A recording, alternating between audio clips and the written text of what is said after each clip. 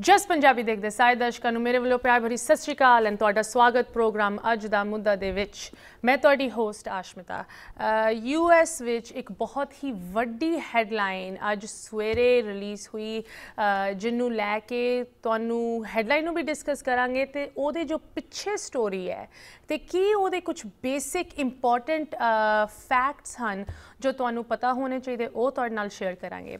ਮੈਂ ਗੱਲ ਕਰ ਰਹੀ ਹਾਂ ਜੋ ਸੁਪਰੀਮ ਕੋਰਟ ਯੂਨਾਈਟਿਡ ਸਟੇਟਸ ਦੀ ਸੁਪਰੀਮ ਕੋਰਟ ਵੱਲੋਂ ਡਿਸੀਜਨ ਰਿਲੀਜ਼ ਕੀਤਾ ਗਿਆ ਸੀ regarding a term called DACA ਸ਼ਾਇਦ ਤੁਸੀਂ ਇਸ ਖਬਰ ਨੂੰ ਸੁਣਿਆ ਹੋਵੇਗਾ ਸ਼ਾਇਦ ਤੁਸੀਂ ਡਾਕਾ ਬਾਰੇ ਸੁਣਿਆ ਹੋਵੇਗਾ ਇਹ ਇੱਕ ਇਮੀਗ੍ਰੇਸ਼ਨ ਪਾਲਿਸੀ ਨੂੰ ਲੈ ਕੇ ਡਿਸੀਜਨ ਸੀਗਾ।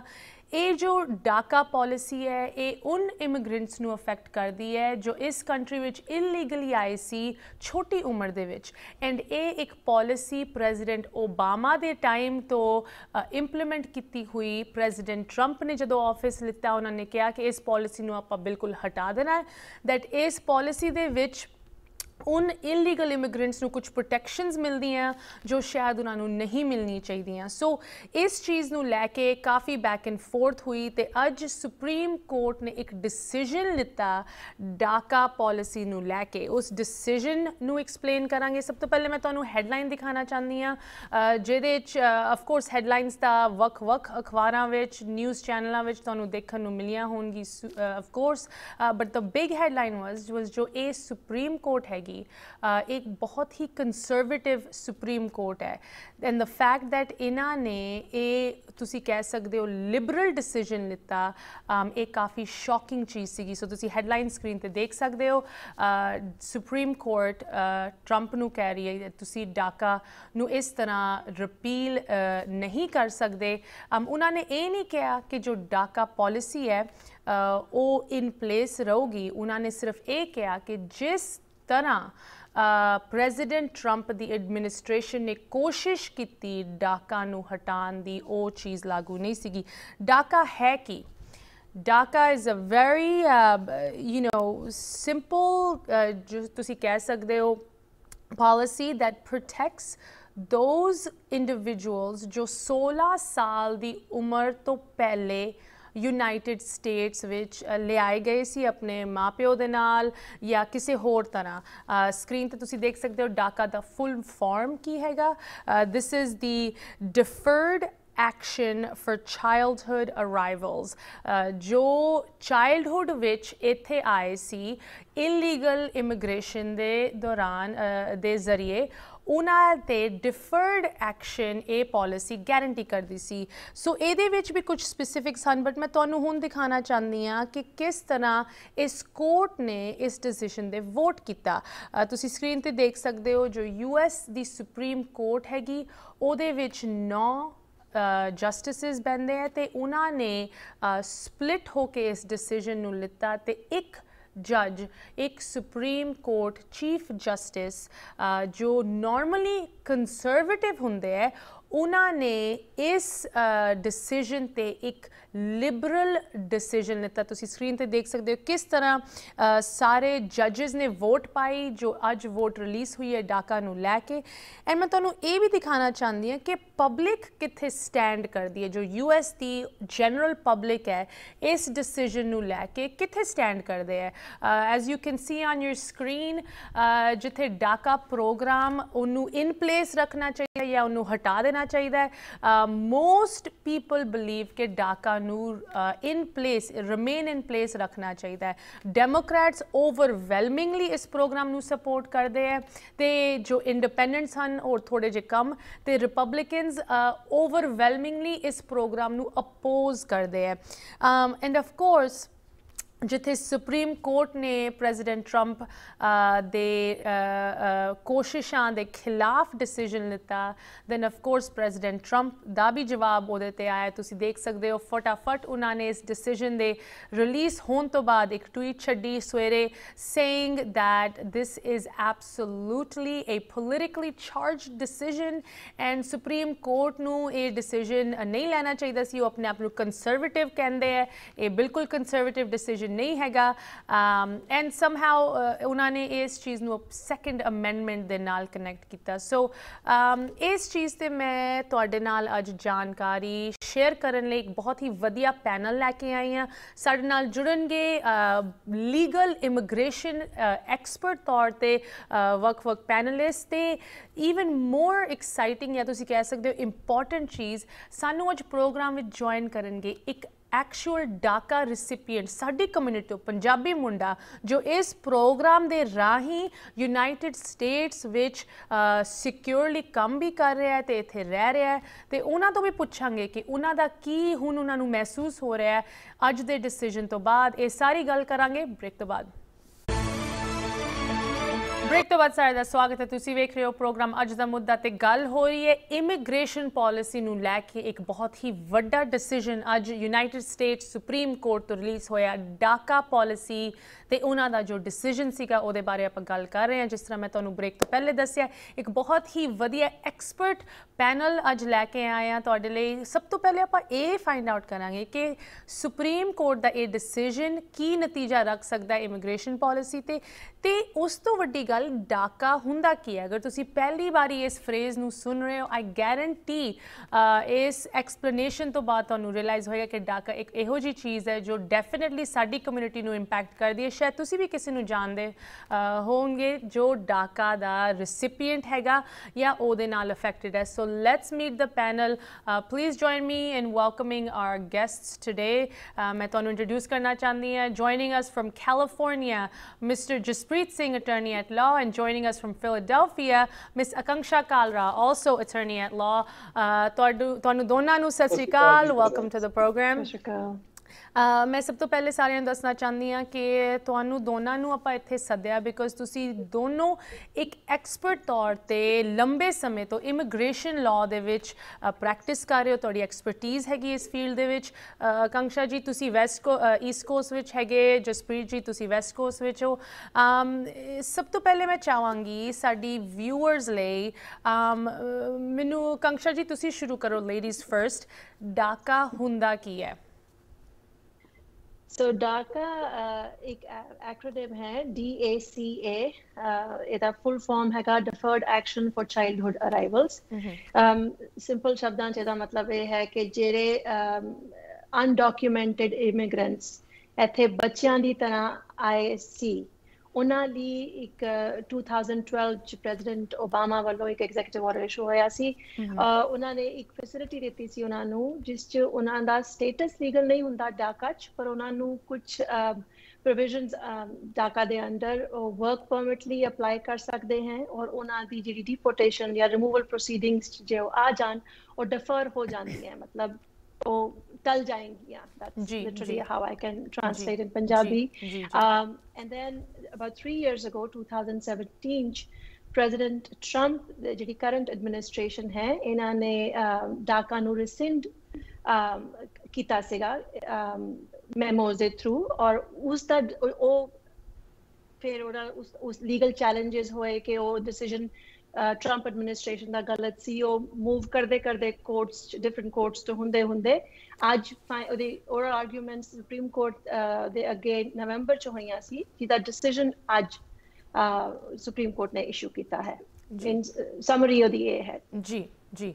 ਜਸਪ੍ਰੀਤ ਜੀ ਮੈਂ ਤੁਹਾਡੇ ਤੋਂ ਪੁੱਛਣਾ ਚਾਹਾਂਗੀ ਜੋ ਅੱਜ ਇਹ ਸੁਪਰੀਮ ਕੋਰਟ ਦੀ ਰੂਲਿੰਗ ਹੈ ਇਹ ਇੱਕ ਫਾਈਨਲ ਜਿੱਦਾਂ ਕਹਿ ਲਓ ਮੋਹਰ ਨਹੀਂ ਹੈਗੀ ਇਸ ਪੂਰੀ ਸਿਚੁਏਸ਼ਨ ਦੇ ਵਿੱਚ ਇਹ ਕੋਈ ਫਾਈਨਲ ਸਟੇਟਮੈਂਟ ਨਹੀਂ ਹੈ। ਇਹ ਸਿਰਫ ਅੱਜ ਇੱਕ, ਆਪਾਂ ਕਹਿ ਸਕਦੇ ਇੱਕ ਅਟੈਂਪਟ ਇੱਕ ਕੋਸ਼ਿਸ਼ ਤੇ ਰਿਸਪੌਂਸ ਹੈ ਰਾਈਟ ਸੋ ਤੁਸੀਂ ਸਾਨੂੰ ਦੱਸੋ ਥੋੜਾ ਜਿਹਾ ਕਿ ਇਹ ਜੋ ਅੱਜ ਸੁਪਰੀਮ ਕੋਰਟ ਦੇ ਵੱਲੋਂ ਨਤੀਜਾ ਨਿਕਲਿਆ ਹੈ, ਇਹ ਇਹਦੀ ਅਸਲੀਅਤ ਕੀ ਹੈਗੀ? ਕੀ ਇਹ ਇਹ, ਕੀ ਇੰਪੈਕਟ ਇਹ ਰੱਖਦਾ ਹੈ ਇਮੀਗ੍ਰੇਸ਼ਨ ਪਾਲਿਸੀ ਲਈ? ਤੇ ਕੀ ਜੋ ਡਾਕਾ ਰੈਸਿਪੀਐਂਟਸ ਹਨ, ਉਹਨਾਂ ਨੂੰ ਕੀ ਮਤਲਬ ਇਸ ਚੀਜ਼ ਤੋਂ ਲੈ ਕੇ ਜਾਣਾ ਚਾਹੀਦਾ ਐਜ਼ ਅ ਟੇਕ ਅਵੇ ਜਿਵੇਂ ਇਹਨਾਂ ਨੇ ਦੱਸਿਆ ਮੈਡਮ ਨੇ ਵੀ ਠੀਕ ਦੱਸਿਆ ਬਿਲਕੁਲ ਕਿ ਜਿਹੜਾ ਇਹ ਜਿਹੜਾ ਪ੍ਰੋਗਰਾਮ ਹੈ, ਇਹ ਪ੍ਰੈਜ਼ੀਡੈਂਟ ਓਬਾਮਾ ਨੇ ਸ਼ੁਰੂ ਕੀਤਾ ਸੀ 2012 ਦੇ ਵਿੱਚ। ਤੇ ਬੇਸਿਸ ਤਾਂ ਇਹ ਸੀਗਾ ਕਿ ਜੇ ਇੱਥੇ ਕੋਈ ਪੇਰੈਂਟ ਆਉਂਦਾ ਹੈ, ਉਹ ਇਮੀਗ੍ਰੇਸ਼ਨ ਲਾ ਦੀ ਵਾਇਲੇਸ਼ਨ ਕਰਦਾ ਜਿਸ ਤਰ੍ਹਾਂ ਕੋਈ ਅਨਡਾਕੂਮੈਂਟਡ ਹੈ ਜਾਂ ਉਹਨੇ ਆਪਣਾ ਵੀਜ਼ਾ ਓਵਰਸਟੇ ਕੀਤਾ ਤੇ ਜੇ ਉਹਦੇ ਬੱਚੇ ਛੋਟੇ ਆ ਤਾਂ ਉਹਨਾਂ ਦਾ ਕੋਈ ਕਸੂਰ ਨਹੀਂ ਕਿਉਂਕਿ ਬੱਚਿਆਂ ਦੀ ਇਹਦੇ 'ਚ ਕੋਈ ਇੰਟੈਂਟ ਨਹੀਂ ਸੀਗੀ ਨਾ ਉਹਨਾਂ ਨੂੰ ਪਤਾ ਹੀ ਸੀ ਇਮੀਗ੍ਰੇਸ਼ਨ ਲਾਅ ਦਾ ਕਿ ਕੀ ਹੁੰਦਾ। ਤੇ ਉਹਨਾਂ ਨੇ ਉਦੋਂ ਸ਼ੁਰੂ ਕੀਤਾ ਨਾਲ ਇਹ ਕਿਹਾ ਕਿ ਜਿਹੜਾ ਅਪਲਾਈ ਕਰਨਾ ਉਹਦੀ ਜਦੋਂ ਐਂਟਰ ਹੋਇਆ ਅਮਰੀਕਾ 'ਚ ਉਹਦੀ ਉਮਰ 16 ਸਾਲ ਤੋਂ ਘੱਟ ਚਾਹੀਦੀ ਆ ਤੇ ਅਪਲਾਈ ਕਰਨ ਵੇਲੇ ਉਹਦੀ ਉਮਰ ਜਿਹੜੀ 31 ਚਾਹੀਦੀ ਆ। ਤੇ 31 ਦੀ ਏਜ ਤੱਕ ਉਹ ਅਪਲਾਈ ਕਰ ਸਕਦਾ ਤੇ ਨਾਲ ਇਹ ਕਿਹਾ ਵੀ ਇਹ ਜਿਹੜਾ ਸਕੂਲ ਗਿਆ ਹੋਵੇ ਕਾਲਜ ਗਿਆ ਹੋਵੇ ਉਹਦਾ ਕ੍ਰਿਮੀਨਲ ਰੈਕੋਰਡ ਨਾ ਹੋਵੇ ਤੇ ਇਹ ਸਾਰਾ। ਮਤਲਬ ਇਹ ਸੀ ਕਿ ਬੱਚਿਆਂ ਨੂੰ ਉਹਨਾਂ ਦੇ ਜਿਹੜੇ ਪੇਰੈਂਟਸ ਨੇ, ਜੇ ਉਹਨਾਂ ਨੇ ਕੋਈ ਲਾਅ ਵਾਇਲੇਟ ਕੀਤੇ ਆ, ਉਹਦੀ ਸਜ਼ਾ ਨਹੀਂ ਮਿਲਣੀ ਚਾਹੀਦੀ। ਤੇ ਉਹ ਜਿਹੜਾ ਹੁਣ ਜਦੋਂ ਪ੍ਰੈਜ਼ੀਡੈਂਟ ਟਰੰਪ ਨੇ ਇਲੈਕਸ਼ਨ ਲੜੀ ਤਾਂ ਇਹਨਾਂ ਦਾ ਜਿਹੜਾ ਇੱਕ ਮੇਨ ਮੁੱਦਾ ਸੀ, ਉਹ ਸੀਗਾ ਕਿ ਮੈਂ ਜਿਹੜੀ ਇਮੀਗ੍ਰੇਸ਼ਨ ਹੈਗੀ ਆ, ਇਹਨੂੰ ਕੰਟੇਨ ਕਰਨਾ। ਖਾਸ ਕਰਕੇ ਸਦਨ ਬਾਰਡਰ ਦੀ ਜਿਹੜੀ ਹੈਗੀ ਆ, ਉਹ ਉਹ ਸੀਲ ਕਰਨਾ ਬਾਰਡਰ ਨੂੰ ਤੇ ਜਿਹੜੇ ਇੱਥੇ ਅਨਡਾਕੂਮੈਂਟਡ ਬੰਦੇ ਨੇ, ਇਹਨਾਂ ਨੂੰ ਮੈਂ ਇੱਥੋਂ ਡਿਪੋਰਟ ਕਰਨਾ। ਸੋ ਇਹ ਇਹਨਾਂ ਦਾ ਇੱਕ ਇਲੈਕਸ਼ਨ ਦਾ ਮੁੱਦਾ ਸੀ ਜਿੱਤੇ ਇਹਨਾਂ ਨੇ ਇਲੈਕਸ਼ਨ ਲੜੀ। ਤੇ ਇਹਨਾਂ ਨੇ 2017 ਦੇ ਵਿੱਚ ਜਿਹੜਾ ਅਟਾਰਨੀ ਜਨਰਲ ਸੈਸ਼ਨ ਸੀਗਾ ਉਹਨਾਂ ਨੇ ਕਹਿਤਾ ਵੀ ਅਸੀਂ ਡਾਕਾ ਜਿਹੜਾ ਹੈਗਾ ਐਕਸਟੈਂਡ ਨਹੀਂ ਕਰਨਾ। ਹੂੰ। ਇਹਨਾਂ ਨੇ ਬੰਦ ਕਰਤਾ। ਉਦੋਂ ਬਾਅਦ 2018 ਜਨਵਰੀ ਦੇ ਵਿੱਚ ਜਿਹੜੀ ਇੱਕ ਕੈਲੀਫੋਰਨੀਆ ਦੀ ਡਿਸਟ੍ਰਿਕਟ ਕੋਰਟ ਨੇ ਉੱਤੇ ਸਟੇ ਕਰਤਾ ਉਹਨਾਂ ਨੇ ਕਿਹਾ ਵੀ ਤੁਸੀਂ ਇਦਾਂ ਡਾਕਾ ਜਿਹੜਾ ਖਤਮ ਨਹੀਂ ਕਰ ਸਕਦੇ ਕਿਉਂਕਿ ਇਹ ਬੱਚੇ ਹੈਗੇ ਆ ਇਹਨਾਂ ਦਾ ਕੋਈ ਕਸੂਰ ਨਹੀਂ। ਪਲੱਸ ਉਹ ਬੱਚੇ ਜਿਹੜੇ ਅਮਰੀਕਨ ਸੋਸਾਇਟੀ ਉਹਦੇ ਵਿੱਚ ਸਿਮੂਲੇਟ ਕਰ ਚੁੱਕੇ ਆ। ਉਹ ਇੱਥੇ ਬੜੀ ਛੋਟੀ ਉਮਰ ਚ ਆਏ ਆ ਇੱਥੋਂ ਦੇ ਸਕੂਲਾਂ ਚ ਗਏ ਆ। ਉਹਨਾਂ ਨੂੰ ਉਹ ਇਸ ਕਲਚਰ ਦੇ ਵਿੱਚ ਪੂਰੀ ਤਰ੍ਹਾਂ ਦੇ ਨਾਲ ਰਲ ਮਿਲ ਚੁੱਕੇ ਆ ਤੇ ਉਹਨਾਂ ਉਹਨਾਂ ਵਿੱਚੋਂ ਕਈ ਤਾਂ ਬਹੁਤ ਹਾਈਲੀ ਕੁਆਲੀਫਾਈਡ ਨੇ। ਜਿਨ੍ਹਾਂ ਨੇ ਕਿ ਹੁਣ ਤੁਸੀਂ ਦੇਖੋ ਕੋਵਿਡ ਦੇ ਵਿੱਚ ਵੀ ਜਿਹੜੇ ਮਤਲਬ ਐਜ਼ ਨਰਸਸ ਡਾਕਟਰਸ ਬੜੀ ਹੈਲਪ ਕੀਤੀ ਹੈ ਤੇ ਇਹ ਫਿਰ ਯੂਐਸ ਸੁਪਰੀਮ ਕੋਰਟ ਨੇ ਕਿਹਾ ਵੀ ਅਸੀਂ ਇਹਨੂੰ ਸੁਣਾਂਗੇ। ਹੂੰ। ਤੇ ਇਹ ਜਿਵੇਂ ਇਹਨਾਂ ਨੇ ਦੱਸਿਆ ਕਿ ਉਹਦੀਆਂ ਓਰਲ ਆਰਗੂਮੈਂਟਸ ਹੋਈਆਂ ਨਵੰਬਰ ਚ ਉਸ ਤੋਂ ਬਾਅਦ ਕੀ ਹੋਇਆ ਵੀ ਜਿਹੜੀ ਇਹ ਯੂਐਸ ਸੁਪਰੀਮ ਕੋਰਟ ਹੈਗੀ ਆ ਇਹ ਸਮਝਿਆ ਜਾਂਦਾ ਵੀ ਬੜੀ ਕੰਜ਼ਰਵੇਟਿਵ ਆ। ਇਹਦੇ ਜਿਹੜੇ ਲਿਬਰਲ ਜੱਜਸ ਘੱਟ ਨੇ ਤੇ ਜਿਹੜੇ ਕੰਜ਼ਰਵੇਟਿਵ ਜ਼ਿਆਦਾ। ਤੇ ਇਸ ਕਰਕੇ ਜਿਹੜੀ ਯੂਐਸ ਕਾਂਗਰਸ ਆ ਉਹਦੇ ਵਿੱਚ ਵੀ ਬਹੁਤ ਜ਼ਿਆਦਾ ਇਹ ਸੀਗਾ ਵੀ ਕਿਤੇ ਇਹਦੇ ਅਗੇਂਸਟ ਨਾ ਰੂਲ ਕਰ ਦੇਣ। ਤੇ ਪਿਛਲੇ ਕਈ ਦਿਨਾਂ ਤੋਂ ਜਿਹੜੇ ਹਾਊਸ ਆਫ ਰੈਪਰੈਜ਼ੈਂਟੇਟਿਵ ਦੇ ਵਿੱਚ ਤੇ ਜਿਹੜੇ ਮਤਲਬ ਸੈਨੇਟ ਦੇ ਲੀਡਰ ਨੇ ਜਾਂ ਵਾਈਟ ਹਾਊਸ ਨਾਲ ਉਹਨਾਂ ਦੀ ਗੱਲਬਾਤ ਚੱਲ ਰਹੀ ਸੀ ਵੀ ਕਿਸ ਤਰ੍ਹਾਂ ਇੱਕ ਜਿਹੜੀ ਹੈਗੀ ਲੈਜਿਸਲੇਸ਼ਨ ਲਿਆਉਣੀ ਕਿਉਂਕਿ ਜੇ ਸੁਪਰੀਮ ਕੋਰਟ ਨੇ ਅਗੇਂਸਟ ਕਰਤਾ ਤਾਂ ਫਿਰ ਇੱਕੋ ਹੀ ਰਸਤਾ ਸੀਗਾ ਕਿ ਜਿਹੜੀ ਕਾਂਗਰਸ ਹੈਗੀ ਆ ਉਹ ਕੋਈ ਬਿੱਲ ਪਾਸ ਕਰੇ ਤੇ ਉਹਨੂੰ ਪ੍ਰੈਜ਼ੀਡੈਂਟ ਸਾਈਨ ਕਰੇ। ਪਰ ਇਹ ਜਿਹੜਾ ਹੋਇਆ ਇਹ ਜਿਹੜੇ ਆ ਵੀਕ ਤਿੰਨ ਡਿਸੀਜਨ ਹੋਏ ਨੇ ਜਿਵੇਂ ਆਪਾਂ ਟਿਊਜ਼ਡੇ ਵੀ ਗੱਲ ਕੀਤੀ ਸੀ ਜਿਹੜਾ ਜਿਹੜੇ ਦੋ ਡਿਸੀਜਨ ਟਿਊਜ਼ਡੇ ਹੋਏ ਤੀਸਰਾ ਇਹ ਇਹ ਤਿੰਨੇ ਜਿਹੜੇ ਡਿਸੀਜਨ ਹੈਗੇ ਆ ਇਹ ਐਡਮਿਨਿਸਟ੍ਰੇਸ਼ਨ ਦੇ ਅਗੇਂਸਟ ਨੇ ਤੇ ਲੋਕਾਂ ਦੇ ਮਤਲਬ ਫੇਵਰ ਦੇ ਵਿੱਚ ਆ। ਜੀ। ਇਹਦੇ ਜਿਹੜੀ ਇੰਪੋਰਟੈਂਟ ਗੱਲ ਮੈਂ ਦੱਸਣੀ ਚਾਹਾਂਗਾ ਚਲੋ ਬੈਕਗ੍ਰਾਉਂਡ ਹੋ ਗਿਆ ਉਹ ਇਹ ਆ ਕਿ ਸੁਪਰੀਮ ਕੋਰਟ ਨੇ ਇਹ ਕਿਹਾ ਕਿ ਜਿਹੜੀ ਐਡਮਿਨਿਸਟ੍ਰੇਸ਼ਨ ਹੈਗੀ ਆ ਜਾਂ ਹੋਮਲੈਂਡ ਸਿਕਿਉਰਿਟੀ ਡਿਪਾਰਟਮੈਂਟ ਆ ਉਹ ਡਾਕਾ ਨੂੰ ਖਤਮ ਕਰ ਸਕਦਾ। ਇਹ ਨਹੀਂ ਹੈ ਕਿ ਨਹੀਂ ਕਰ ਸਕਦੇ। ਪਰ ਉਹਨਾਂ ਨੇ ਕਿਹਾ ਵੀ ਜਿਹੜਾ ਉਹਨਾਂ ਨੇ ਰੂਲ ਫਾਲੋ ਜਿਸ ਤਰੀਕੇ ਨਾਲ ਖਤਮ ਕੀਤਾ ਜਿਹੜਾ ਪ੍ਰੋਸੀਜਰ ਫਾਲੋ ਕੀਤਾ ਇਹ ਪ੍ਰੋਸੀਜਰ ਗਲਤ ਆ। ਜੀ। ਤੇ ਉਹਨਾਂ ਨੇ ਕਿਹਾ ਕਿ ਇਹਨਾਂ ਦਾ ਕੋਈ ਸੋਲਿਡ ਕੋਈ ਜਿਹੜਾ ਹੈਗਾ ਉਹ ਲੌਜੀਕਲ ਬੇਸਿਸ ਨਹੀਂ ਹੈਗਾ। ਇਹਨੂੰ ਡਾਕਾ ਨੂੰ ਖਤਮ ਕਰਨ ਦਾ। ਇਹਨਾਂ ਦਾ ਸਿਰਫ ਇਹ ਆ ਕਿ ਇਹਨਾਂ ਨੇ ਇਸ ਐਡਮਿਨਿਸਟ੍ਰੇਸ਼ਨ ਨੇ ਇਹ ਕਿਹਾ ਸੀ ਕਿ ਅਸੀਂ ਜਿਹੜੀ ਇਮੀਗ੍ਰੇਸ਼ਨ ਹੈਗੀ ਆ ਜਿਹੜੀ ਅਨਡਾਕੂਮੈਂਟਡ ਬੰਦੇ ਨੇ ਉਹਨਾਂ ਨੂੰ ਅਸੀਂ ਵਾਪਸ ਭੇਜਾਂਗੇ ਇਲੀਗਲ ਇਮੀਗ੍ਰੇਸ਼ਨ ਖਤਮ ਕਰਾਂਗੇ ਤੇ ਜਿਹੜਾ ਬਾਰਡਰ ਹੈਗਾ ਉਹਨੂੰ ਸੀਲ ਕਰਾਂਗੇ। ਤੇ ਉਹਦੀ ਇਹ ਕੜੀ ਆ ਜਾਨੀ ਕਿ ਉਹਦੀ ਕੰਟੀਨਿਊਏਸ਼ਨ ਆ ਇਹਨਾਂ ਦੀ ਪਾਲਿਸੀ ਦੀ। ਪਲੱਸ ਇਹ ਕੋਈ ਜਿਹੜੀ ਸੋਲਿਡ ਪਾਲਿਸੀ ਨਹੀਂ ਹੈਗੀ ਉਹਦੇ ਕਰਕੇ ਉਹਨਾਂ ਨੇ ਕਿਹਾ ਵੀ ਜੇ ਕੋਈ ਇਹਨਾਂ ਕੋਲੇ ਸੋਲਿਡ ਰੀਜ਼ਨ ਹੈਗਾ ਕੋਈ ਲੀਗਲ ਤਾਂ ਇਹ ਖਤਮ ਕਰ ਸਕਦੇ ਪਰ ਜਿਹੜਾ ਆ ਰੀਜ਼ਨ ਇਹਨਾਂ ਨੇ ਦਿੱਤਾ ਜਾਂ ਐਵੇਂ ਅਬਰਪਟਲੀ ਖਤਮ ਕਰਤਾ ਜੀ ਅਸੀਂ ਨਹੀਂ ਚਾਹੁੰਦੇ ਵੀ ਡਾਕਾ ਅੱਗੇ ਜਾਵੇ। ਇਸ ਗੱਲ ਦਾ ਨਾਲ ਉਹ ਸਹਿਮਤ ਨਹੀਂ ਹੋਏ ਉਹਨਾਂ ਨੇ ਕਿਹਾ ਵੀ ਇਹ ਸਾਨੂੰ ਲੱਗ ਰਿਹਾ ਕਿ ਇਹਦੇ ਮਤਲਬ ਪਿੱਛੇ ਕੋਈ ਵੈਲਿਡ ਰੀਜ਼ਨ ਨਹੀਂ ਹੈਗਾ। ਉਹਦੇ ਕਰਕੇ ਉਹਨਾਂ ਨੇ ਇਹਨੂੰ ਕੀਤਾ ਤੇ ਇਹਦੇ ਬਾਅਦ ਅੱਜ ਪ੍ਰੈਜ਼ੀਡੈਂਟ ਟਰੰਪ ਦਾ ਟਵੀਟ ਵੀ ਆਇਆ। ਤੇ ਉਹਨਾਂ ਨੇ ਇਹ ਕਿਹਾ ਵੀ ਮੈਨੂੰ ਲੱਗਦਾ ਕਿ ਜਿਹੜੀ ਇਹ ਸੁਪਰੀਮ ਕੋਰਟ ਦੇ ਜੱਜ ਨੇ ਇਹ ਮਤਲਬ ਕੰਸਰਵੇਟਿਵ ਇਨਫ ਨਹੀਂ ਹੈਗੇ।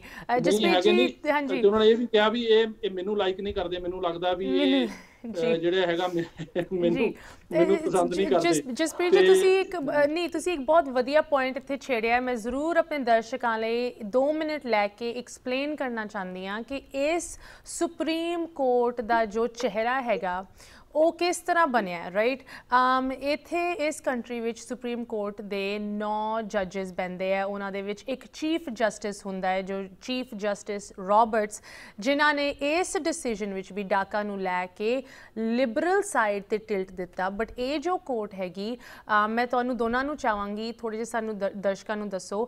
ਕਾਲਾ ਜੀ, ਤੁਸੀਂ ਸ਼ੁਰੂ ਕਰ ਸਕਦੇ ਹੋ ਕਿ ਇਹ ਜੋ ਕੋਰਟ ਹੈਗੀ ਇਹਨਾਂ ਦੇ ਜੋ 9 ਮੈਂਬਰਸ ਹਨ ਉਹ ਕਿਸ ਪਾਸੇ ਉਹਨਾਂ ਦਾ ਟਿਲਟ ਹੈ ਤੇ ਪ੍ਰੈਜ਼ੀਡੈਂਟ ਟਰੰਪ ਨੇ ਆਪਣੀ ਟਰਮ ਦੇ ਵਿੱਚ ਕਿਸ ਤਰ੍ਹਾਂ ਇਸ ਕੋਰਟ ਨੂੰ ਬਦਲਿਆ ਹਲੇ ਤੱਕ? ਸੋ ਜਿੱਦਾਂ ਤੁਸੀਂ ਕਿਹਾ, ਇਸ ਟਾਈਮ ਜਿਹੜੇ, ਜਿਹੜਾ ਸੁਪਰੀਮ ਕੋਰਟ ਨੌ ਜੱਜਸ ਜਿਹੜੇ ਹੈਗੇ ਹੈ, ਇਸ ਟਾਈਮ ਉਸ ਚ ਚਾਰ लिबरल हैं डेमोक्रेट्स अपॉइंट डेमोक्रेट्स ने अपॉइंट किए हैं। और पाँच जेडे जजेस हैं including the chief justice justice Roberts वो कंजर्वेटिव हैं रिपब्लिकन अपॉइंटेड जजेस हैं। हम्म। दो जेडे सब तो मोस्ट रीसेंट अपॉइंटेड जजेस हैं सुप्रीम कोर्ट दे जस्ट ओ जज ਟਰੰਪ ਪ੍ਰੈਜ਼ੀਡੈਂਟ ਟਰੰਪ ਨੇ ਅਪਾਇੰਟ ਕੀਤੇ ਹਨ ਸੋ ਜੇ ਤੁਸੀਂ ਦੇਖਿਆ जाए सुप्रीम कोर्ट ਦੀ ਜਿਹੜੀ मेकअप है नौ जजेस हैं। ਹਮੇਸ਼ਾ ਔਡ ਨੰਬਰ ਇਸ ਲਈ ਹੁੰਦਾ ਹੈ ਕਿਉਂਕਿ ਅਗਰ ਈਵਨ ਨੰਬਰ ਹੋਏਗਾ ਅੱਧੇ ਜੱਜ ਇੱਕ ਇੱਕ ਸਾਈਡ ਤੇ ਔਰ ਅੱਧੇ ਜੱਜ ਜਿਸ ਸਪੋਜ਼ਿੰਗ 8 ਹੋਵੇ ਚਾਰ ਇੱਕ ਸਾਈਡ ਤੇ ਹੈ ਔਰ ਚਾਰ ਦੂਜੇ ਸਾਈਡ ਤੇ ਹੈ ਤਾਂ ਉਹਦਾ ਡਿਸੀਜਨ ਨਹੀਂ ਹੋ ਸਕਦਾ right so they have to have a, a tiebreaker, if you want to call it that. So ਅੱਜ ਦੇ ਡਿਸੀਜਨ ਚ ਜਿਹੜੇ ਜਸਟਿਸ ਰਾਬਰਟਸ ਹੈ ਚੀਫ ਜਸਟਿਸ ਰਾਬਰਟਸ ਜਿਨ੍ਹਾਂ ਨੂੰ ਬੁਸ਼ ਨੇ ਅਪਾਇੰਟ ਕੀਤਾ ਸੀ ਪ੍ਰੈਜ਼ੀਡੈਂਟ ਬੁਸ਼ ਨੇ ਜਿਹੜੇ ਕੰਜ਼ਰਵੇਟਿਵ ਹੈ ਬਟ ਹੀ ਇਜ਼ ਮੋਰ ਜਿਹਨੂੰ ਤੁਸੀਂ ਕਹਿ ਸਕਦੇ ਹੋ ਮੋਡਰੇਟ ਉਹ ਵਾਲੇ ਜੱਜ ਹੈ। ਉਹਨਾਂ ਨੇ ਜਿਹੜੇ ਲਿਬਰਲ ਜੱਜਸ ਨਾਲ ਸਾਈਡ ਕਰਕੇ ਜਿਹੜਾ ਓਪੀਨੀਅਨ ਦਿੱਤਾ ਹੈ ਜਿਹੜਾ ਅੱਜ ਡਾਕਾ ਦੇ ਬਾਰੇ ਆਇਆ ਹੈ। ਐਜ਼ ਜਿਹੜੇ ਵਕੀਲ ਸਾਹਿਬ ਨੇ ਕਹਿ ਰਹੇ ਸੀਗੇ ਸਿੰਘ ਸਾਹਿਬ ਕੇ ਲਿਮਿਟਿਡ ਹੋਲਡਿੰਗ ਹੈ ਲਿਮਿਟਿਡ ਰੂਲਿੰਗ ਹੈ। ਰੀਲੀ ਦੇਖਿਆ ਜਾਏ ਤਾਂ ਜਿਹੜੀ ਕਰੰਟ ਸਿਚੁਏਸ਼ਨ ਡਾਕਾ ਦੀ ਐਪਲੀਕੇਸ਼ਨ ਹੈ ਉਸ 'ਚ ਜ਼ਿਆਦਾ ਕੁਝ ਫੇਰ ਬਦਲ ਨਹੀਂ ਹੋ ਰਿਹਾ ਔਰ ਸਾਰੇ ਜਿਹੜਾ ਅੱਜ ਦਾ ਡਿਸੀਜਨ ਹੈ ਉਸ 'ਚ ਉਹਨਾਂ ਨੇ ਇਹ ਕਿਹਾ ਹੈ ਕਿ ਜਿਹੜਾ ਐਡਮਿਨਿਸਟ੍ਰੇਸ਼ਨ ਹੈ ਪ੍ਰੈਜ਼ੀਡੈਂਟ ਜੇ ਇਹਨੂੰ ਖਤਮ ਕਰਨਾ ਚਾਹਨ ਇਸ ਡਾਕਾ ਪ੍ਰੋਗਰਾਮ ਨੂੰ ਤਾਂ ਉਹ ਕਰ ਸਕਦੇ ਹਨ ਔਰ ਜੇ ਕੰਟੀਨਿਊ ਕਰਨਾ ਚਾਹਨ ਤਾਂ ਉਹ ਵੀ ਕਰ ਸਕਦੇ ਹਨ ਪਰ ਇੱਕ ਪ੍ਰੋਪਰ ਪ੍ਰੋਸੀਜਰ ਹੁੰਦਾ ਹੈ ਉਹਨੂੰ APA ਕਹਿੰਦੇ ਆ ਅਮਰੀਕਨ ਪ੍ਰੋਸੀਜਰਸ ਐਕਟ ਉਸ ਕਾਨੂੰਨ ਦੇ ਅੰਡਰ ਉਹਨਾਂ ਨੂੰ ਕੁਝ ਫੋਲੋ ਕਰਕੇ ਰੂਲਸ ਫੋਲੋ ਕਰਕੇ ਕਰ ਸਕਦੇ ਹਨ ਔਰ ਉਹਨਾਂ ਦਾ ਜਿਹੜਾ ਅੱਜ ਦਾ ਡਿਸੀਜਨ ਹੈ ਉਸ ਉਹਨਾਂ ਨੇ ਦੋ ਵਰਡਸ ਯੂਜ਼ ਕੀਤੇ ਹਨ ਜੱਜ ਰਾਬਰਟਸ ਨੇ ਕਿ ਜਿਹੜਾ ਇਹ ਡਿਸੀਜਨ ਐਡਮਿਨਿਸਟ੍ਰੇਸ਼ਨ ਨੇ ਲਿੱਤਾ ਸੀ ਇਹ ਕੈਪ੍ਰੀਸ਼ੀਅਸ ਹੈ ਔਰ ਆਰਬਿਟਰੀ ਹੈ ਜੀ ਉਹਦਾ ਮਤਲਬ ਮਤਲਬ ਹੁੰਦਾ ਹੈ ਹਾਂ ਕਿ ਵੀ ਅਨਪ੍ਰੈਡਿਕਟੇਬਲ ਹੈ ਤੁਸੀਂ ਜੋ ਤੁਹਾਡੇ ਦਿਲ ਚਾਹੇ ਆਪਣੀ ਵਿਮ ਤੇ ਆਪਣੀ ਇੰਪਲਸ ਤੇ ਕਰਤਾ ਔਰ ਆਰਬਿਟਰੀ ਦਾ ਮਤਲਬ ਹੈ ਮਨਮਾਨੀ ਕਰਨਾ ਆਪਣੀ ਆਪਣੀ ਮਰਜ਼ੀ ਕਰਨਾ ਕਿ ਤੁਸੀਂ ਇਹ ਨਹੀਂ ਕਰ ਸਕਦੇ ਤੁਸੀਂ ਅਗਰ ਕਰਨਾ ਹੈ ਇਹਨੂੰ ਖਤਮ ਤਾਂ ਪ੍ਰੋਪਰ ਤਰੀਕੇ ਨਾਲ ਕਰੋ ਜੀ ਉਹਨਾਂ ਨੇ ਇਹ ਨਹੀਂ ਕਿਹਾ ਕਿ ਤੁਹਾਡਾ ਖਤਮ ਕਰਨਾ ਇਲੀਗਲ ਹੈ they have not sad that ਜੀ ਦੇ ਸੈਡ ਯੂ ਹੈਵ ਤੁਸੀਂ ਪ੍ਰੋਪਰ ਪ੍ਰੋਸੀਜਰ ਫੋਲੋ ਕਰਕੇ ਕਰਨਾ ਹੈ so yes S Singh Sahib ਕਹਿ ਰਹੇ ਸੀ ਕਿ ਜਿਹੜੇ ਇਸ ਇਸ ਹਫ਼ਤੇ ਡਿਸੀਜਨਸ ਆਏ ਹਨ ਜ਼ਿਆਦਾ ਲਿਬਰਲ ਲੀਨਿੰਗ decisions हैं and um, is and uh, government जी। Sorry go ahead. ਔਰ ਗਵਰਨਮੈਂਟ ਦੇ ਫੇਵਰ ਚ ਨਹੀਂ ਹੈ। ਜੀ ਮੈਂ ਇੱਥੇ ਤੁਹਾਨੂੰ ਦੋਨਾਂ ਨੂੰ ਥੋੜੀ ਜਿਹੀ ਦੇਰ ਲਈ ਰੋਕਣਾ ਚਾਹਾਂਗੀ ਬਿਕੋਜ਼ ਮੈਂ ਚਾਹੁੰਦੀ ਹਾਂ ਕਿ ਜ਼ਰੂਰ ਆਪਾਂ ਇਹ ਵੀ ਚੀਜ਼ ਕਵਰ ਕਰਨ ਕਿ ਇੱਕ ਤਾਂ ਇਹ ਜੋ ਸੁਪਰੀਮ ਕੋਰਟ ਦਾ ਮੇਕਅਪ ਹੈ ਜਿਸ ਤਰ੍ਹਾਂ ਇਹ ਬਣੀ ਹੋਈ ਹੈ ਇਹ ਇਸ ਕੰਟਰੀ ਲਈ ਕਿੰਨੀ ਵੱਡੀ ਲੌਂਗ ਟਰਮ ਇੰਪੈਕਟ ਹੋ ਸਕਦਾ ਹੈ? ਜਦੋਂ ਤੁਸੀਂ ਸੁਪਰੀਮ ਕੋਰਟ ਤੇ ਕਿਸੇ ਨੂੰ ਬਿਠਾਉਂਦੇ ਹੋ ਇੱਕ ਪ੍ਰੈਜ਼ੀਡੈਂਟ ਨੋਮੀਨੇਟ ਕਰਦਾ ਹੈ ਉਹ ਕਿਸ ਲੰਬਾਈ ਨਾਲ ਉਹ ਉਸ ਚੀਜ਼ ਨੂੰ ਸਰਵ ਕਰੇ? It's a lifetime appointment right ਇੱਕ ਇਹ ਚੀਜ਼। ਦੂਜੀ ਚੀਜ਼ ਮੈਂ ਡਿਸਕਸ ਕਰਨਾ ਚਾਹੁੰਦੀ ਹਾਂ ਕਿ ਜਿਸ ਤਰ੍ਹਾਂ ਤੁਸੀਂ ਕਹਿ ਰਹੇ ਹੋ ਕਿ ਇਹ ਡਿਸੀਜਨ ਕੋਈ ਫਾਈਨਲ ਡਿਸੀਜਨ ਨਹੀਂ ਹੈਗਾ। ਕੋਰਟ ਨੇ ਸਿਰਫ ਇਹ ਰੂਲ ਕੀਤਾ ਹੈ ਕਿ ਜੋ ਜ਼ਰੀਆ ਸੀਗਾ ਉਹਨਾਂ ਦਾ ਇਸ ਚੀਜ਼ ਨੂੰ ਕੈਨਸਲ ਕਰਨ ਦਾ ਜਾਂ ਰਿਵੋਕ ਕਰਨ ਦਾ ਉਹ ਸਹੀ ਨਹੀਂ ਸੀਗਾ। ਬਟ ਹਲੇ ਵੀ ਉਹ ਰਿਵੋਕ ਕਰ ਸਕਦੇ ਤੇ ਇਹਦੇ ਤੇ ਆਪਾਂ ਡਿਸਕਸ ਕਰਾਂਗੇ। ਇੱਥੇ ਛੋਟੀ ਜਿਹੀ ਬ੍ਰੇਕ ਲਈ ਰੁਕਦੇ ਹਾਂ। ਤੁਸੀਂ ਵੀ ਸਾਡੇ ਨਾਲ ਜੁੜੇ ਰਹੋ। ਪ੍ਰੋਗਰਾਮ ਬਿਲਕੁਲ ਲਾਈਵ ਆ ਰਿਹਾ। ਤੁਸੀਂ ਕਾਲ ਕਰਕੇ ਆਪਣੇ ਸਵਾਲ ਕੁਐਸਚਨਸ ਕਮੈਂਟਸ ਇਸ ਮੁੱਦੇ ਨੂੰ ਲੈ ਕੇ ਜ਼ਰੂਰ ਸਾਡੇ ਨਾਲ ਰੱਖ ਸਕਦੇ ਹੋ। ਮਿਲਦੇ ਹਾਂ ਬ੍ਰੇਕ ਤੋਂ ਬਾਅਦ। ਬ੍ਰੇਕ ਤੋਂ ਬਾਅਦ ਸਾਰਿਆਂ ਦਾ ਸਵਾਗਤ ਹੈ। ਤੁਸੀਂ ਵੇਖ ਰਹੇ ਹੋ ਪ੍ਰੋਗਰਾਮ ਅੱਜ ਦਾ ਮੁੱਦਾ ਤੇ ਗੱਲ ਹੋ ਰਹੀ ਹੈ। ਯੂਨਾਈਟਿਡ ਸਟੇਟਸ ਵਿੱਚ ਇੱਕ ਬਹੁਤ ਹੀ ਵੱਡਾ ਡਿਸੀਜਨ ਜੋ ਇੱਥੇ ਦੀ ਸੁਪਰੀਮ ਕੋਰਟ ਨੇ ਲਿੱਤਾ ਇਮੀਗ੍ਰੇਸ਼ਨ ਪਾਲਿਸੀ ਨੂੰ ਲੈ ਕੇ। ਖਾਸ ਕਰਕੇ ਉਹ ਪਾਲਿਸੀ ਜੋ ਪ੍ਰੈਜ਼ੀਡੈਂਟ ਓਬਾਮਾ ਦੇ ਟਾਈਮ ਤੋਂ ਆ ਰਹੀ ਸੀ, ਬੱਚਿਆਂ ਲਈ ਉਹਨਾਂ ਬੱਚਿਆਂ ਲਈ ਜੋ ਇੱਥੇ ਆਏ ਸੀ 16 ਸਾਲ ਦੀ ਉਮਰ ਤੋਂ ਪਹਿਲੇ ਇਲੀਗਲੀ ਇਮੀਗ੍ਰੈਂਟ ਦੇ ਤੌਰ ਤੇ ਤੇ ਸੁਪਰੀਮ ਕੋਰਟ ਨੇ ਅੱਜ ਇਹ ਡਿਸੀਜਨ ਦਿੱਤਾ ਦੈਟ ਪ੍ਰੈਜ਼ੀਡੈਂਟ ਟਰੰਪ ਦੀ ਜੋ ਕੋਸ਼ਿਸ਼ਾਂ ਸੀ, ਇਹ ਇਸ ਪਾਲਿਸੀ ਜਿਹਦਾ ਨਾਂ ਹੈਗਾ DACA the deferred action for childhood arrivals ਉਸ ਚੀਜ਼ ਨੂੰ ਉਹ ਰਿਵੋਕ ਇਸ ਤਰ੍ਹਾਂ ਨਹੀਂ ਕਰ ਸਕਦੇ ਤੇ ਇਸ ਵਿਸ਼ੇ ਤੇ ਸਾਡੇ ਨਾਲ ਗੱਲ ਕਰਨ ਲਈ ਸਾਨੂੰ ਜੁਆਇਨ ਕਰ ਰਹੇ ਸਾਡੇ panel of experts immigration law ਦੇ ਵਿੱਚ ਖਾਸ ਕਰਕੇ because this is an immigration policy ਮੈਂ ਸਾਰਿਆਂ ਨੂੰ ਇੱਕ ਵਾਰੀ ਫਿਰ ਵਾਪਸ ਸਵਾਗਤ ਕਰਦੀ ਹਾਂ, ਤੁਹਾਡਾ ਸ਼ੋਅ ਦੇ ਵਿੱਚ ਸਵਾਗਤ। ਮਿਸ ਕਾਲਰਾ ਤੁਸੀਂ ਸਾਨੂੰ ਬ੍ਰੇਕ ਤੋਂ ਪਹਿਲੇ ਜਸਪ੍ਰੀਤ ਜੀ ਨਾਲ ਦੱਸ ਰਹੇ ਸੀ ਕਿ ਕਿਸ ਤਰ੍ਹਾਂ ਇੱਕ ਤਾਂ ਡਾਕਾ ਕੀ ਹੁੰਦੀ ਹੈ ਇਹ ਜੋ deferred action for childhood arrivals ਜੋ ਛੋਟੀ ਉਮਰ 'ਚ ਇਲੀਗਲ ਇਮੀਗ੍ਰੈਂਟ ਦੇ ਤੌਰ ਤੇ ਇੱਥੇ ਬੱਚੇ ਆਏ ਸਨ ਉਹਨਾਂ ਲਈ ਕੁਝ ਸਹੂਲਤਾਂ ਦਿੱਤੀਆਂ ਸੀ ਪ੍ਰੈਜ਼ੀਡੈਂਟ ਓਬਾਮਾ ਨੇ but of course president Trump ਨੇ ਕਾਫੀ ਕੋਸ਼ਿਸ਼ ਕੀਤੀ ਉਹ ਚੀਜ਼ਾਂ ਨੂੰ ਰਿਮੂਵ ਕਰਨ ਦੀ, ਜਾਂ ਜਿੱਦਾਂ ਤੁਸੀਂ ਕਹਿ ਰਹੇ ਸੀ ਉਹਨਾਂ ਨੂੰ ਐਕਸਪਾਇਰ ਹੋਣ ਦੀ। ਬਟ ਸੁਪਰੀਮ ਕੋਰਟ ਨੇ ਡਿਸੀਜਨ ਅੱਜ ਲਿੱਤਾ ਕਿ ਉਹਨਾਂ ਦਾ ਜੋ ਜ਼ਰੀਆ ਸੀਗਾ ਉਹ ਸਹੀ ਨਹੀਂ ਹੈ। ਸੋ ਇੱਥੇ ਇਹ ਸਵਾਲ ਬਹੁਤ ਵੱਡਾ ਬੰਦਾ ਹੈ that okay so what next right ਅਗਰ ਇਹ ਡਿਸੀਜਨ ਅੱਜ ਲਿੱਤਾ ਹੈ ਆਫ ਕੋਰਸ ਅੱਜ ਤਾਂ ਇਹ ਇੱਕ ਵਿਨ ਆਪਾਂ ਸਮਝ ਸਕਦੇ ਹਾਂ ਇਮੀਗ੍ਰੈਂਟਸ ਲਈ ਇਮੀਗ੍ਰੇਸ਼ਨ ਪਾਲਿਸੀ ਲਈ, ਖਾਸ ਕਰਕੇ ਉਹਨਾਂ ਬੱਚਿਆਂ ਲਈ ਜੋ ਇੱਥੇ ਛੋਟੀ ਉਮਰ 'ਚ ਆਏ ਸਨ।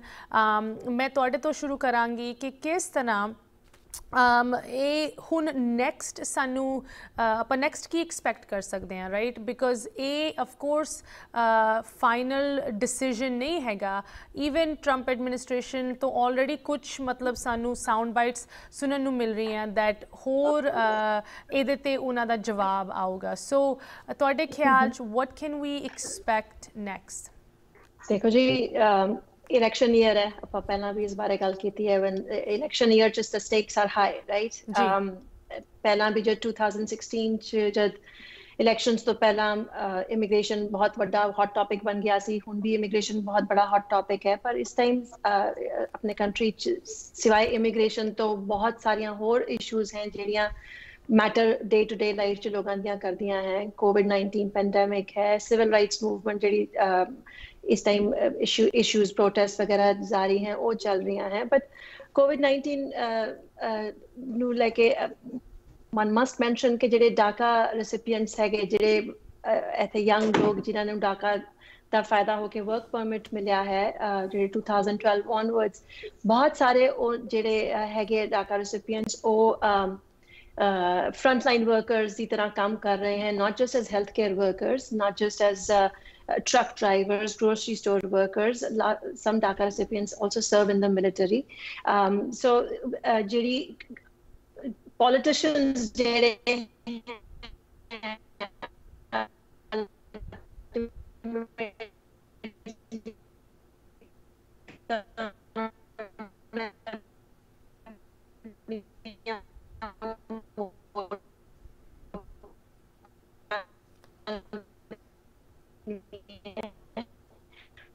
ਉਹਨਾਂ ਨੇ ਇਹ ਵੀ ਦੇਖਣਾ ਹੈ ਕਿ ਇਸ ਪੋਲਿਟ ਜਿਹੜੇ ਤੇ ਉਹਨਾਂ ਨਾਲ ਸਹਾਨੁਭੂਤੀ ਰੱਖਣਗੇ ਕਿ ਉਹਨਾਂ ਦਾ ਬਿਲਕੁਲ ਖਤਮ ਨਹੀਂ ਹੋਣਾ ਚਾਹੀਦਾ। ਸੋ ਐਡਮਿਨਿਸਟ੍ਰੇਸ਼ਨ ਕੁਝ ਨਾ ਕੁਝ ਐਕਸ਼ਨ ਤਾਂ ਲਏਗੀ। ਕੀ ਐਕਸ਼ਨ ਲਏਗੀ ਉਹ ਨਹੀਂ ਪਤਾ ਸਾਨੂੰ ਹਲੇ। We have to wait and watch but I will mention one thing ਨਵੰਬਰ ਚ ਇਹਦੇ ਓਰਲ ਆਰਗੂਮੈਂਟਸ ਹੋਏ ਸੀਗੇ ਸੁਪਰੀਮ ਕੋਰਟ ਦੇ ਅੱਗੇ। ਔਰ ਨਵੰਬਰ ਚ ਹੀ ਟਰੰਪ ਐਡਮਿਨਿਸਟ੍ਰੇਸ਼ਨ ਨੇ ਇੱਕ ਪ੍ਰਪੋਜ਼ਲ ਪੇਸ਼ ਕੀਤਾ ਸੀਗਾ। ਜਿਹੜਾ ਹਲੇ ਹੋਇਆ ਨਹੀਂ ਹੈ ਬਟ ਜਸਟ ਯੈਸਟਰਡੇ ਸਾਡੇ ਆਪਣੇ ਇਮੀਗ੍ਰੇਸ਼ਨ ਬਾਰ ਐਸੋਸੀਏਸ਼ਨ ਚ ਇਸ ਦੇ ਬਾਰੇ ਈਮੇਲਸ ਅਟਾਰਨੀਜ਼ ਭੇਜ ਰਹੇ ਸੀਗੇ। ਕੁਝ ਸੁਣਨ ਚ ਆ ਰਿਹਾ ਹੈ ਇਹ ਕਨਫਰਮ ਨਹੀਂ ਹੈ ਨਿਊਜ਼ ਕਿ ਟਰੰਪ ਐਡਮਿਨਿਸਟ੍ਰੇਸ਼ਨ ਦਾ ਜਿਹੜਾ ਪ੍ਰਪੋਜ਼ਲ ਨਵੰਬਰ ਚ ਆਇਆ ਸੀਗਾ that was going to affect ਜਿਹੜੇ ਅਸਾਈਲਮ ਸੀਕਰਸ ਹੈ ਇੱਥੇ। ਔਰ ਉਸ ਚ ਬਹੁਤ ਸਾਰੇ ਆਪਣੇ ਇੰਡੀਅਨ ਕਮਿਊਨਿਟੀ ਦੇ ਲੋਕ ਵੀ ਹੈ। ਉਹਨਾਂ ਨੂੰ ਇੱਥੇ ਅਸਾਈਲਮ ਐਪਲੀਕੇਸ਼ਨ ਜਦ ਤੱਕ ਉਹਨਾਂ ਦੀ ਪੈਂਡਿੰਗ ਹੁੰਦੀ ਹੈ ਚਾਹੇ ਉਹ ਇਮੀਗ੍ਰੇਸ਼ਨ ਚ ਪੈਂਡਿੰਗ ਹੋਵੇ ਚਾਹੇ ਇਮੀਗ੍ਰੇਸ਼ਨ ਕੋਰਟ ਚ ਪੈਂਡਿੰਗ ਹੋਵੇ ਉਹਨਾਂ ਨੂੰ ਵਰਕ ਪਰਮਿਟ ਅਪਲਾਈ ਕਰ ਸਕਦੇ ਹੈ ਉਹ। ਜੀ। ਸੋ ਜਿਹੜਾ ਪ੍ਰਪੋਜ਼ਲ ਟਰੰਪ ਐਡਮਿਨਿਸਟ੍ਰੇਸ਼ਨ ਨੇ ਦਿੱਤਾ ਹੈ ਉਹ ਜਿਹੜਾ ਕੱਲ ਫੇਰ ਨਿਊਜ਼ ਚ ਆਇਆ ਹੈ ਕਿ ਸ਼ਾਇਦ ਉਹ ਜਿਹੜੀ ਪ੍ਰਪੋਜ਼ਲ ਹੈ ਉਸ ਚ ਉਹ ਵਰਕ ਪਰਮਿਟ ਅਸਾਈਲਮ ਸੀਕਰਸ ਜਿਹੜੇ ਜਿਨ੍ਹਾਂ ਨੇ ਬਾਰਡਰ ਕ੍ਰਾਸ ਕਰਕੇ ਆਏ हैं ਉਹ ਸ਼ਾਇਦ ਉਹਨਾਂ ਨੂੰ ਨਾ ਮਿਲ ਪਾਏ। ਜਾਂ ਜੇ ਜਿਹੜੇ ਲੋਕ ਅਪਲਾਈ ਕਰ ਵੀ ਸਕਦੇ ਹੈ right now they can apply 150 150 days application file ਕਰਨ ਤੋਂ ਬਾਅਦ ਉਹ ਅਪਲਾਈ ਕਰ ਸਕਦੇ ਹੈ ਉਹ ਪ੍ਰਪੋਜ਼ਲ ਦੇ ਅੰਡਰ ਟਰੰਪ ਐਡਮਿਨਿਸਟ੍ਰੇਸ਼ਨ ਦਾ ਜਿਹੜਾ ਪ੍ਰਪੋਜ਼ਲ ਹੈ ਉਹ ਟਾਈਮ ਲਿਮਿਟ ਵਧਾਉਣਾ ਚਾਹੁੰਦੇ ਆ to up to 1 year so ਹੋ ਸਕਦਾ ਹੈ ਟਰੰਪ ਐਡਮਿਨਿਸਟ੍ਰੇਸ਼ਨ ਇਸ ਟਾਈਮ ਕੁਝ ਹੋਰ ਐਸਾ ਐਕਸ਼ਨ ਲਵੇ ਜਿਹੜਾ ਜੇ ਡਾਕਾ ਨੂੰ ਅਫੈਕਟ ਨਹੀਂ ਕਰੇਗਾ ਸ਼ਾਇਦ ਦੂਸਰੇ ਕਿਸੇ ਇਮੀਗ੍ਰੇਸ਼ਨ ਇਸ਼ੂਜ਼ ਨੂੰ ਅਫੈਕਟ ਕਰੇ। So it's a hot topic and of course it's election year I mean ਨਵੰਬਰ ਵਿੱਚ ਉਹਨਾਂ ਦਾ ਫਿਰ ਇਲੈਕਸ਼ਨ ਹੋਣ ਜਾ ਰਿਹਾ ਸੋ ਉਹਨਾਂ ਦੇ ਸਾਰੇ ਡਿਸੀਜਨਸ ਇਸ ਵੇਲੇ ਇੱਕ ਕੈਂਪੇਨ ਦੇ ਵਿੱਚ ਚੱਲ ਰਹੇ ਹਨ ਨਾ ਕਿ ਇੱਕ ਸਿਰਫ ਰੈਗੂਲਰ ਪ੍ਰੈਜ਼ੀਡੈਂਟ ਦੇ ਤੌਰ ਤੇ ਕੁਝ ਕਾਲਰਸ ਵੀ ਸਾਡੇ ਨਾਲ ਜੁੜ ਚੁੱਕੇ ਸੁਣ ਲੈਂਦੇ ਉਹਨਾਂ ਦੇ ਸਵਾਲ। ਸਤਿ ਸ਼੍ਰੀ ਅਕਾਲ ਤੁਸੀਂ ਔਨ 에ਅਰ ਹੋ ਮੇਰਾ ਕੁਐਸਚਨ ਹੈ ਜੀ ਜੇ ਅਸੀਂ ਫੀਸਾਂ ਭਰੀਆਂ ਹਨ ਆਲਰੇਡੀ ਵੀਜ਼ਿਆਂ ਦੀਆਂ ਜੀ। ਭੈਣਾਂ ਭਰਾਵਾਂ ਦੀਆਂ। ਜੀ। ਉਹਦੇ ਵਿੱਚ ਕੀ ਕੋਈ ਕੋਈ ਫ਼ਰਕ ਪਊਗਾ ਜਾਂ ਵੀਜ਼ੇ ਦੇਣਗੇ ਜਾਂ ਨਹੀਂ? ਤੁਸੀਂ ਉਹਨਾਂ ਨੂੰ ਇੱਥੇ ਬੁਲਾਉਣ ਲਈ ਫੀਸਾਂ ਪਾਈਆਂ ਹੋਈਆਂ ਆਲਰੇਡੀ ਜੀ ਜੀ ਜੀ। ਜੀ ਜੀ ਜੀ ਜੀ ਜੀ। ਥੈਂਕ ਯੂ ਤੁਹਾਡੀ ਕਾਲ ਲਈ ਸਰ ਆਈ ਥਿੰਕ ਇਹ ਕੁਐਸਚਨ ਥੋੜਾ ਜਿਹਾ ਸਾਡੇ ਮੁੱਦੇ ਤੋਂ ਹਟ ਕੇ ਹੈਗਾ ਬਟ ਆਫ ਕੋਰਸ ਕੰਕਸ਼ਾ ਜੀ ਆਈ ਥਿੰਕ ਤੁਸੀਂ ਐਡਵਾਈਸ ਕਰ ਸਕਦੇ ਹੋ ਔਰ ਕਿਸੇ ਨੇ ਐਪਲੀਕੇਸ਼ਨ ਪਾਈ ਹੋਈ ਹੈ ਫੈਮਿਲੀ ਮੈਂਬਰਸ ਲਈ ਇਸ ਵੇਲੇ ਤਾਂ ਸਭ ਕੁਝ ਬੰਦ ਹੈ ਰਾਈਟ ਸੋ ਜਦੋਂ ਚੀਜ਼ਾਂ ਖੁੱਲਣਗੀ ਖਾਸ ਕਰਕੇ ਇੰਡੀਆ ਸਾਈਡ ਤੋਂ ਤਦ ਹੀ ਉਹ ਉਹ ਐਪਲੀਕੇਸ਼ਨਸ ਅੱਗੇ ਪ੍ਰੋਸੀਡ ਹੋਣਗੀ। ਐਮ ਆਈ ਕਰੈਕਟ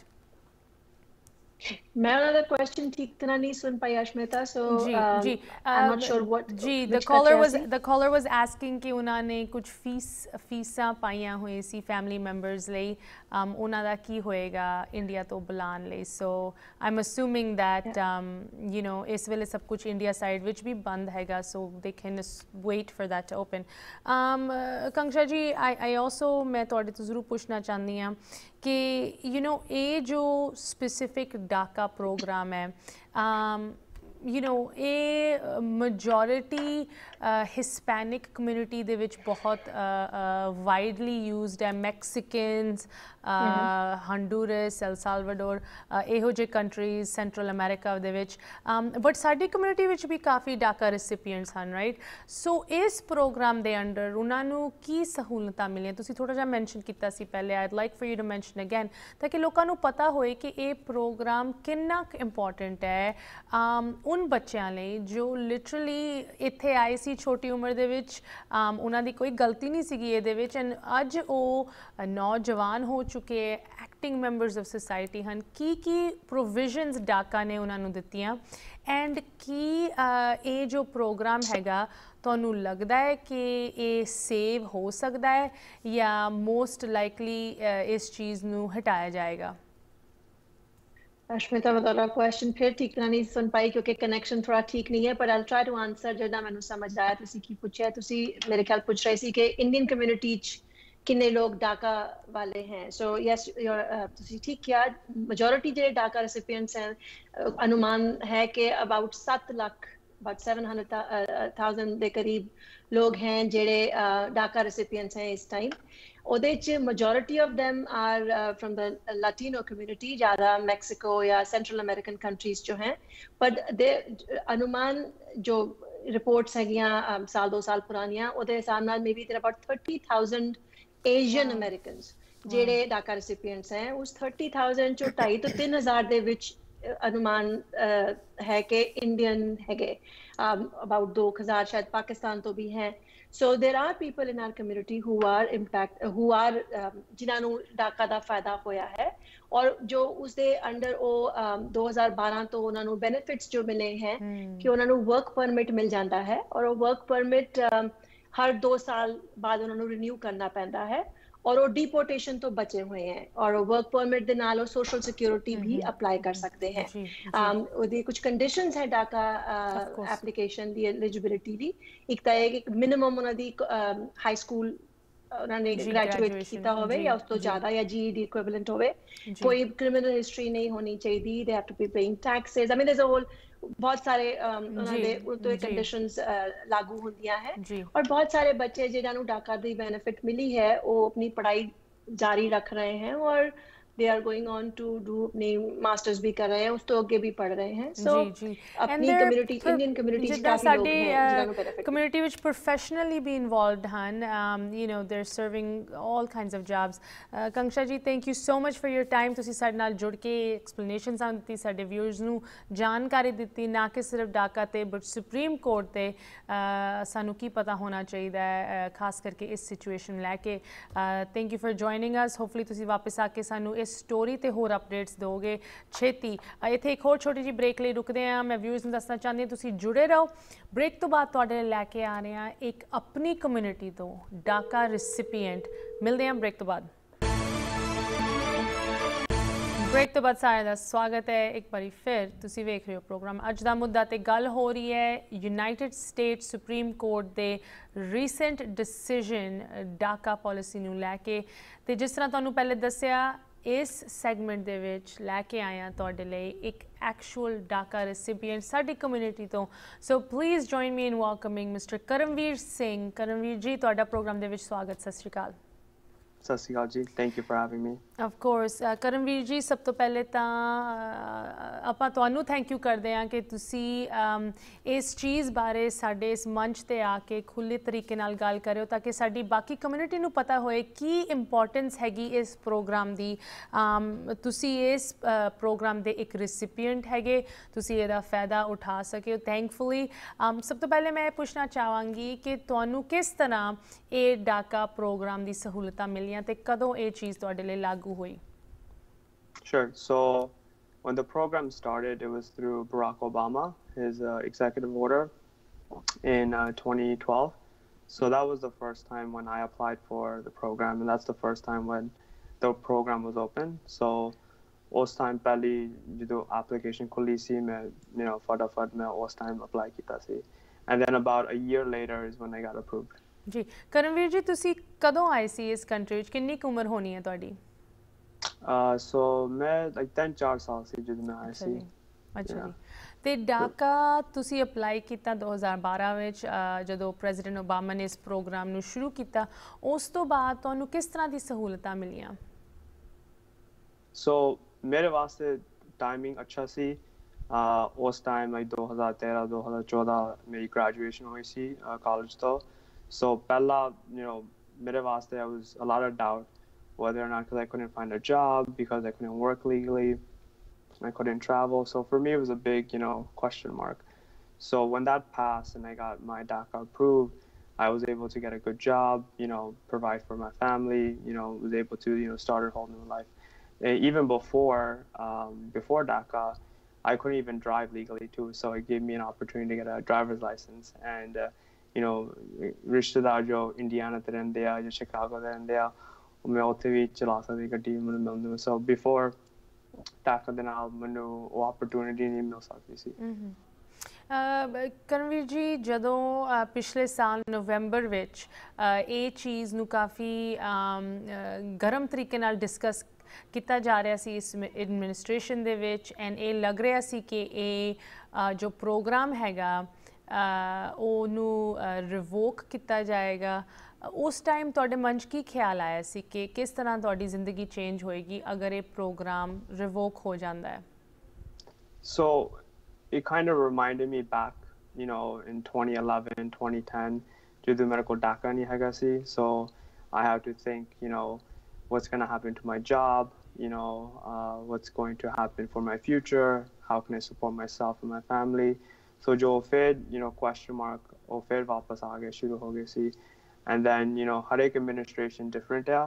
So ਉਹ ਥੋੜਾ ਜਿਹਾ ਜ਼ਿਆਦਾ, you know, doubt ਸ਼ੁਰੂ ਹੋ ਗਏ ਸੀ. So thankfully, um, the program didn't go away with today's decision, uh, and it gives a lot of young adults an opportunity to continue growing their lives. ਜੀ ਤੇ ਕਰਮਵੀਰ ਜੀ ਆਫ ਕੋਰਸ ਇਹ ਜੋ decision ਹੈ definitely ਅੱਜ ਦੀ date ਵਿੱਚ ਇੱਕ ਬਹੁਤ ਬੜੀ ਜੀਤ ਹੈਗੀ ਅ, ਜਿੱਤ ਹੈਗੀ ਸਾਡੀ ਅ, ਅ, ਜੋ ਇਮੀਗ੍ਰੈਂਟ ਪੋਪੂਲੇਸ਼ਨ ਜਿਸ ਤਰ੍ਹਾਂ ਤੁਸੀਂ ਉਹ ਅਮ, ਅ, ਜੋ ਛੋਟੇ ਸੀਗੇ ਜਦੋਂ ਇਸ ਕੰਟਰੀ 'ਚ ਆਏ ਤੇ ਹੁਣ ਅਮ, ਉਹ ਇਸ ਕੰਟਰੀ ਦੇ ਕਮਿਊਨਿਟੀ ਵਿੱਚ ਬਿਲਕੁਲ ਇੰਟੀਗ੍ਰੇਟਿਡ ਹੋ ਗਏ ਹੈ ਹਿੱਸਾ ਹਨ ਕਮਿਊਨਿਟੀ ਦਾ ਅਮ, ਆਉਣ ਵਾਲੇ ਸਮੇਂ 'ਚ ਤੁਹਾਨੂੰ ਕੀ ਲੱਗਦਾ ਹੈ ਕਿ ਕਿਸ ਤਰ੍ਹਾਂ ਇਹ ਚੀਜ਼ ਡਿਵੈਲਪ ਹੋਏਗੀ Uh, I don't know. A lot of it's politics. So I think what should happen is there should be some sort of compromise hona chahiye, at least with this program. Uh, I know mere vaste a lot of a lot of benefit mili see, and uh, I know a lot of other young adults receive a lot of benefits. And the good thing is with the program is ultimately we're able to give back.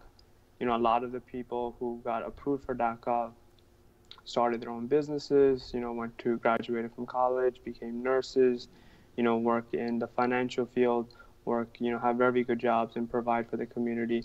So I think koi compromise honi chahiye as programs of vaste because a mm-hmm. lot of benefits miluge not for this generation but for the future generation.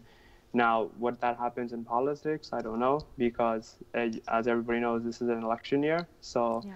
yeah, a lot of people will take advantage of this uh, type of program Ji. to make certain decisions. But Ji. uh, I think at least some sort of compromise should happen for at least DACA because a lot of people already seen the benefits of the program. ਜੀ ਅ, ਕਰਮਵੀਰ ਜੀ ਇਹ ਕਾਫੀ tough question ਹੈਗਾ because ਆਮ ਸ਼ੋਰ ਤੁਸੀਂ ਇਸ ਅ, ਚੀਜ਼ ਨੂੰ ਲੈ ਕੇ ਹਰ ਰੋਜ਼ ਚਿੰਤਕ ਹੁੰਦੇ ਹੋਣਗੇ ਬਟ ਤੁਹਾਨੂੰ ਕਿਸ ਤਰ੍ਹਾਂ ਮਹਿਸੂਸ ਹੁੰਦਾ ਹੈ ਜਦੋਂ ਤੁਸੀਂ ਸੋਚਦੇ ਹੋ ਕਿ ਇਹ ਪ੍ਰੋਗਰਾਮ ਕੈਨਸਲ ਹੋ ਸਕਦਾ ਹੈ what would you do So you know, I would just you know be you know think like an immigrant. You know, just figure out a new a new way to live every day. Just you know, something doesn't work, try to look at another option. So. You know, before you know uh, DACA, I was a child growing up, and it never really affected me. But as I was going to school, looking for jobs, you know, you really had to always think, um, what's tomorrow going to be like, or what's, you know, this question was always there mm-hmm. because it's it's not a law. Mm-hmm. So, uh, and you know, past mm-hmm. law was always going to be there. So, starting look for other opportunities and you know, see what else is out there. G G. Karamveer Singh, thank you so much to see. Um, ਇੰਨੀ you know so brave ਕਿ ਤੁਸੀਂ ਸਾਡੇ ਨਾਲ ਜੁੜ ਕੇ ਆਪਣੀ ਇਹ ਗੱਲ ਸਾਡੇ ਸਾਰੇ ਦਰਸ਼ਕਾਂ ਨਾਲ ਸ਼ੇਅਰ ਕੀਤੀ। We wish you the best of luck and we hope ਕਿ ਤੁਹਾਡੇ ਇਸ ਸਿਚੁਏਸ਼ਨ ਵਿੱਚ everything works out um, and we hope that if there's any developments ਤੁਸੀਂ ਵਾਪਸ ਆ ਕੇ ਸਾਡੇ ਨਾਲ ਜ਼ਰੂਰ ਸ਼ੇਅਰ ਕਰੋ।